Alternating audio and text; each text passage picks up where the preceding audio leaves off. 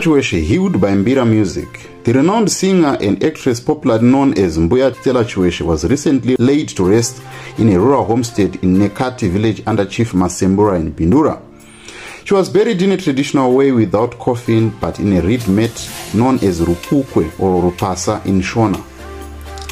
At the gravesite, she did not have Christian songs or a pastor to say the final words. It is said it was a wish to be buried without a coffin so as to connect with their ancestors. Here are some of the things that you didn't know about Mbuya Stella Rambisai Chiweshe.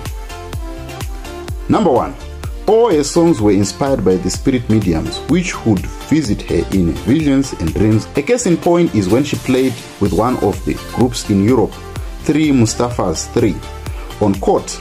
While recording in Berlin, the Mustaphas were understandably nervous ahead of their first encounter with Chiweshe. But Chiweshe wasn't worried. She had met them before. Yes, it was my first time meeting them physically. She grins. But in my sleep, when I was dreaming, I had played with them for a long time before. When we finally met, it was like flipping a switch. Number two, music healed her chest disease, which she had endured for two years. Because it was considered a taboo to play mbira as a girl when all the people were discouraged her to learn or teach her the instrument.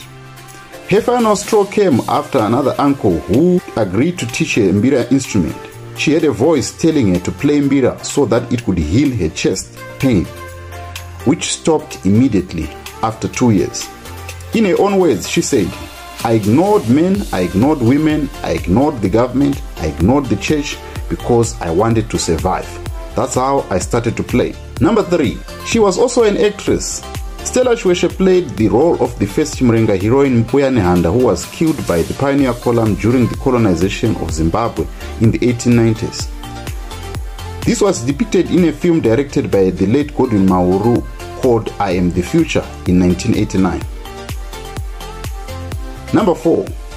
She only released singles, not albums. Despite her popularity, the songstress never released any album, but she only did singles, as all of her songs were inspiration of spirit mediums. Number 5. She only had two children with first husband Freddie Mukwesha, who was first ever Zimbabwean soccer star to play in Europe for Sporting de Braga.